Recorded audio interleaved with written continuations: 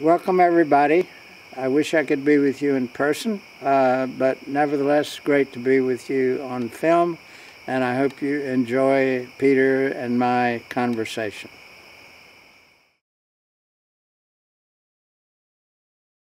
So I'm delighted to be here with you today. Thanks for spending the time to talk to us. Thank you, Peter.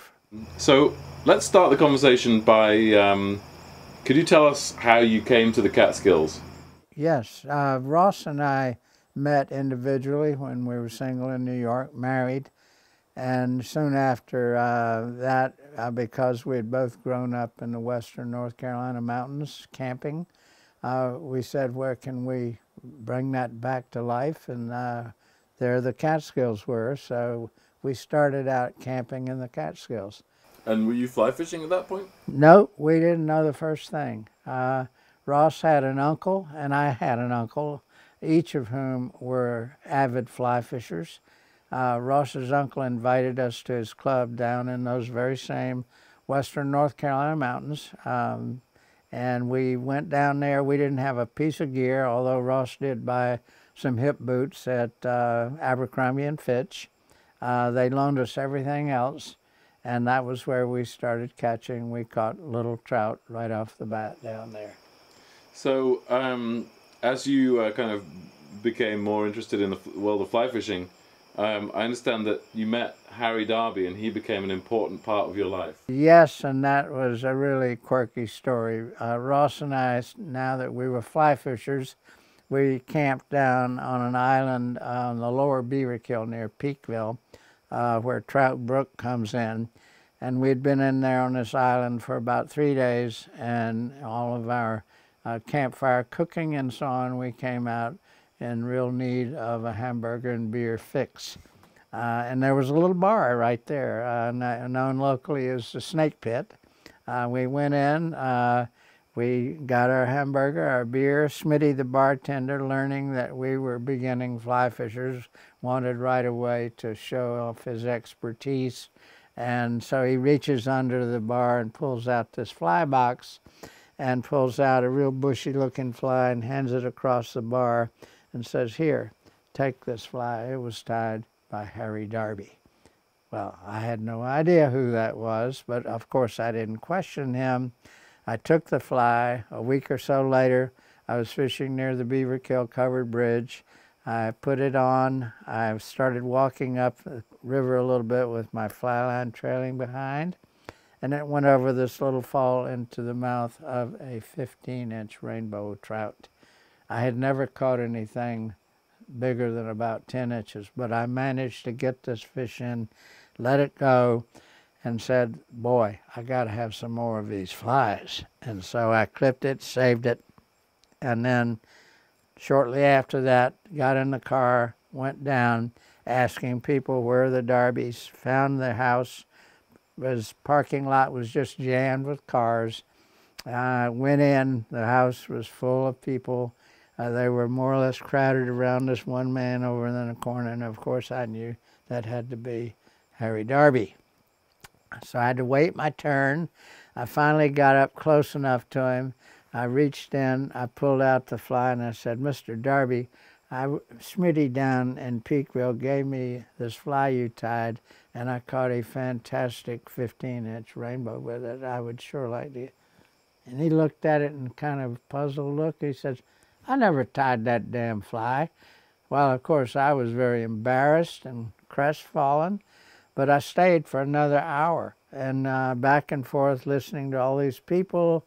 I came out of there having uh, met this guy thinking, Smitty uh, really did me a bigger favor than he realized. He's introduced me to a man who's going, who has changed my life. So um, you and Ross got to be close friends uh, with the Darbees. Yes, we did. Uh, we would actually come up from the city every Friday night. We were renting a little cabin near Junction Pool. It had no water, no electricity, so we would arrive at the Darbees with an empty six-gallon water carrier and a full quart of Dewar's Scotch.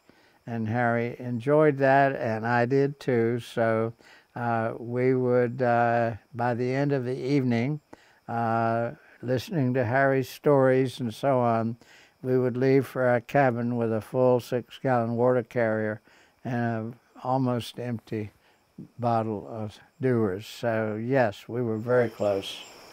Um, tell me a little bit about the um, kind of stories and the, and the interactions that you had.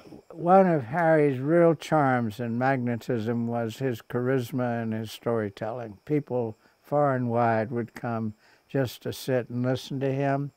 And so these evenings together, when we were, in his terms, getting as comfortable as possible, charming phrase, obviously you knew what it meant. Uh, one night we were getting very comfortable and Harry started telling his stories and he would say, I'm saving, that's going in my book. And then he would tell another story, mention his book. Or he had a formula for dyeing rooster necks. I'm saving that for my book. Well, I'd been hearing this often enough till I realized he's never going to tie, excuse me, he's never going to write a book. And so I just blurted it out and without thinking, Harry, tell your stories and have fun. You're not going to write a book. Well, he went quiet, and all of a sudden I realized that I'd hit a nerve. And we both kind of choked up because we realized that I had destroyed his dream, in effect. Well, I said to him, Harry, the only way you're going to write a book is if someone sits down with you and makes you do it. Yeah, I guess you're right, he said. And then I said, Well, don't you have somebody to do that? No. And then whatever made me say it, Well, how about me? Sure. Well, the next morning I came back, cold light of day. Harry, you remember what we said? Yes. Did you mean it? Yes.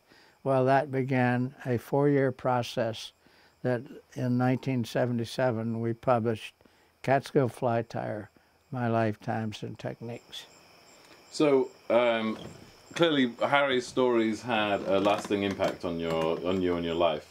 Very much so. He would always speak of the Catskills as the birthplace of American fly fishing, and he said that often enough. So later, uh, I really said, "Well, where's the proof of that?"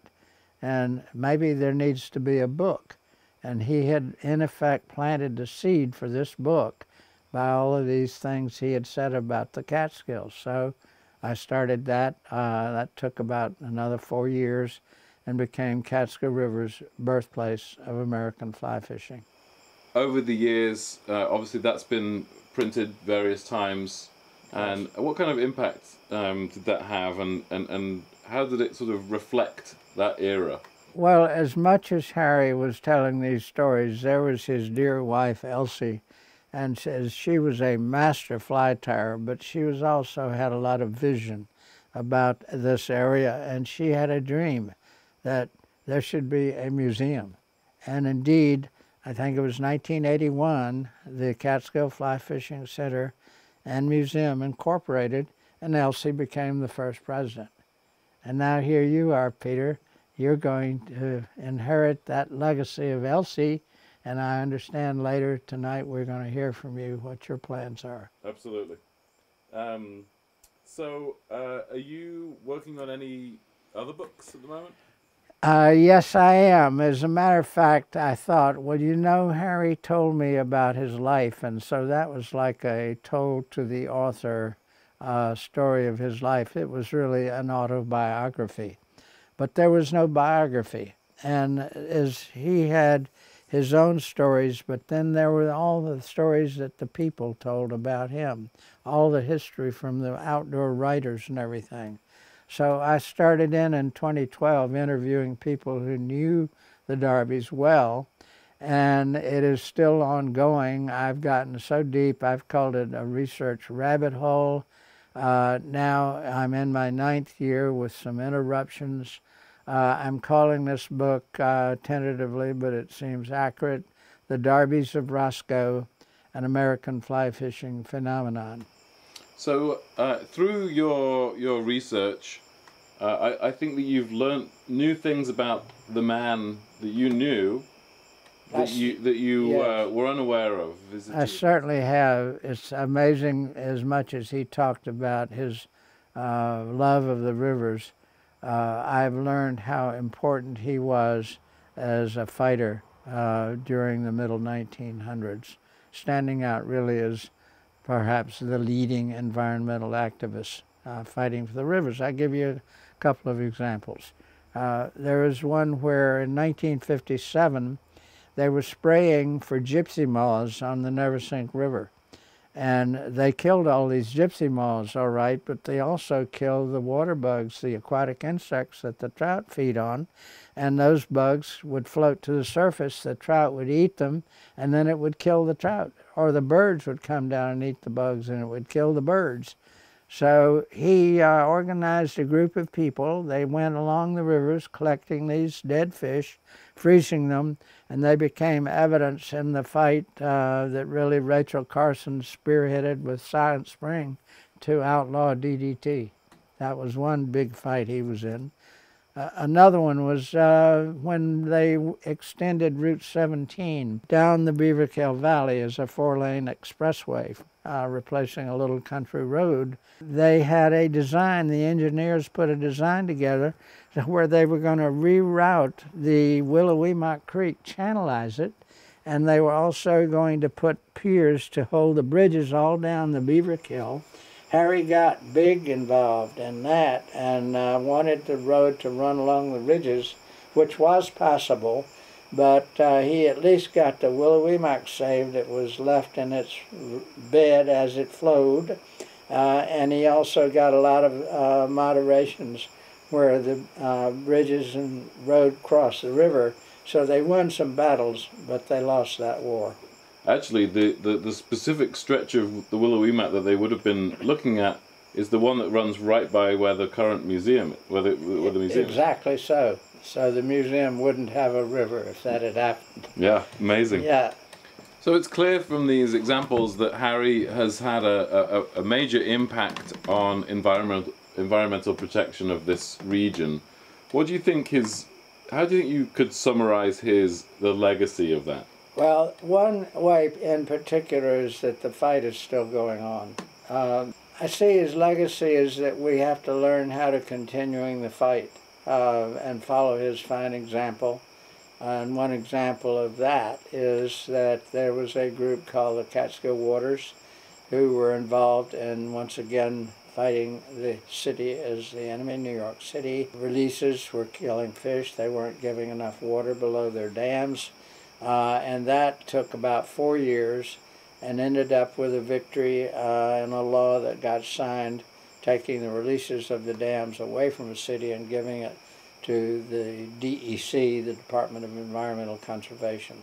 So uh, that, that fight, uh, however, thought it was won, but no, the city fought back. It is still ongoing. So we need to become, as it were, uh, little Harry Darbee's or an army of Darbee's, whatever you like.